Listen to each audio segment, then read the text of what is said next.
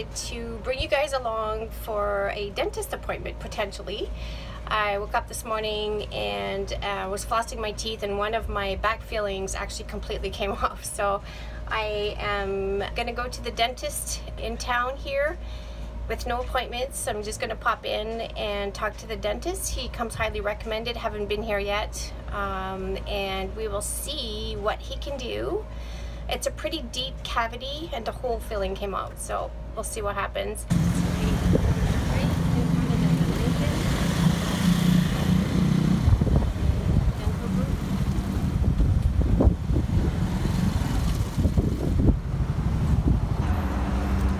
Dun dun dun. I hate the dentist. All right, so I uh, just spoke with the dentist and uh, he can't see me today. He's fully booked. He's a highly recommended dentist here. So he is uh, accepting me tomorrow at 6 p.m. and he's gonna take a look and then determine uh, either a short-term solution or a long-term solution. So it'll be up to me to decide and we'll figure it out. He just needs to take a good look at it first. So we will keep you posted, bring you along tomorrow. Hello, hello.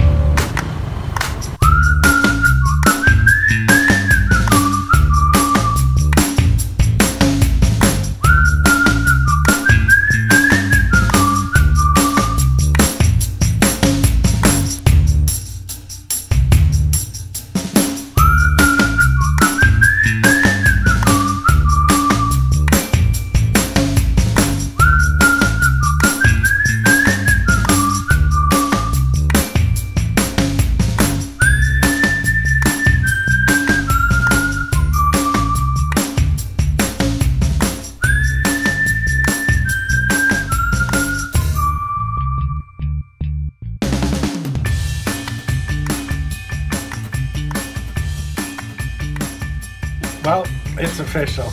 I can't take it any longer. I was gonna try to hold off as long as I could, but uh, it's 50 degrees, guys, and I'm getting my hair trimmed back a little more. I just can't do it. And I'm the hairdresser. So, uh, everybody cross your fingers if you don't mind, and we'll see how this goes. Hold this. Sure.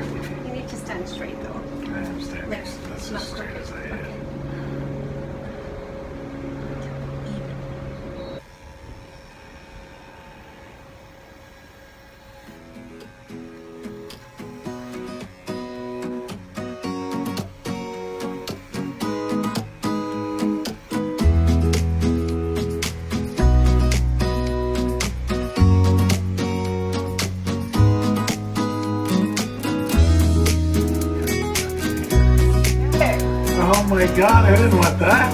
Okay. Maybe turn it on. Um,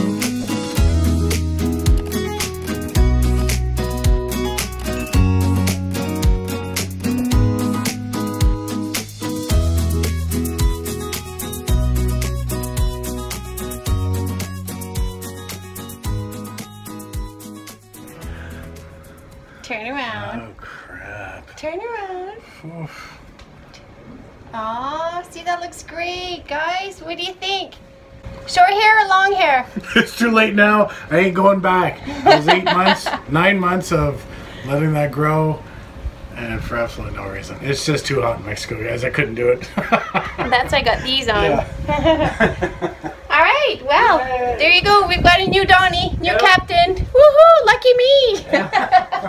the old one's gone. It's day two, and uh, it's three o'clock. Actually, the dentist agreed to take me at three instead of six today, assuming a cancellation.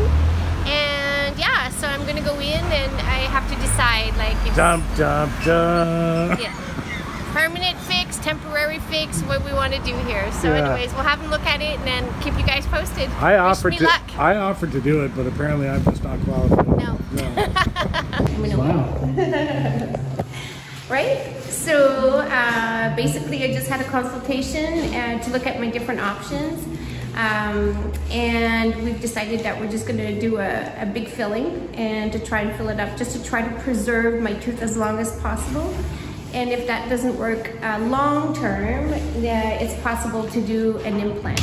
Uh, but for the time being, the doctor feels like that's not necessary, so we're just gonna do a filling and I'm very excited. All right, guys, I broke the golden rule.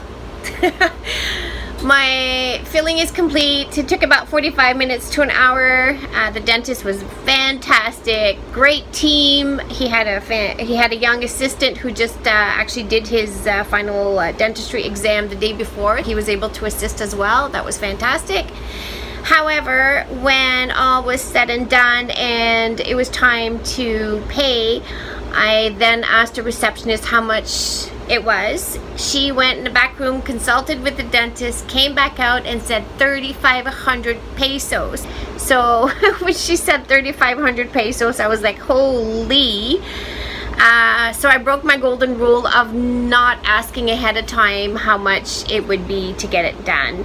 So 3,500 pesos is probably about $275 Canadian, which to me is very steep to get dental work here in Mexico with that being said, would I go back? 100%. I would absolutely go back, but I would not break my golden rule. Anyways, it's all said and done. We're going to move on and uh, check out the next video. I think we're going to prepare for Hurricane Idalia. The tropical storm is actually going to be hitting our region and it's just gonna form and build here for probably about three days a very very slow moving storm and then once it starts to move up north then it's gonna really expedite to uh, turning into a hurricane. So we have some prep work to do. Very quickly we'll bring you guys along and let you guys know what we got to get done.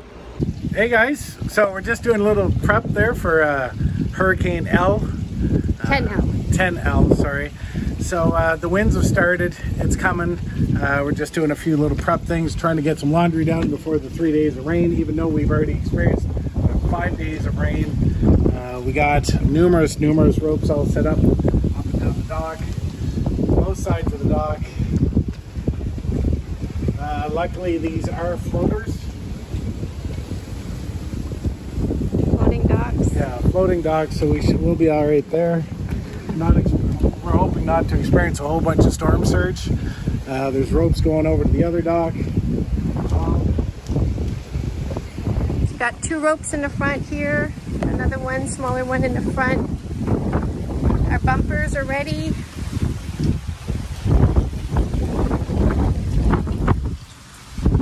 The boat is actually tied off far enough from the dock that the bumpers aren't being touched right now, so everything's lined up. It's far away from the dock. And we're ready to go. There's a spaghetti stream of ropes across the back from the other boat as well.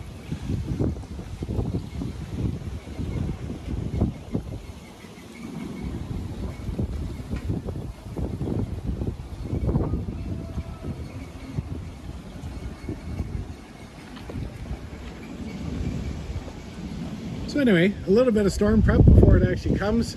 I think it's being downgraded a little bit for our end of the world and uh, we're going to do our best and we'll keep you posted as we go along though but just wanted to show you a little prep. We're trying to still dry out the fly bridge as you can see from the last five days of rain.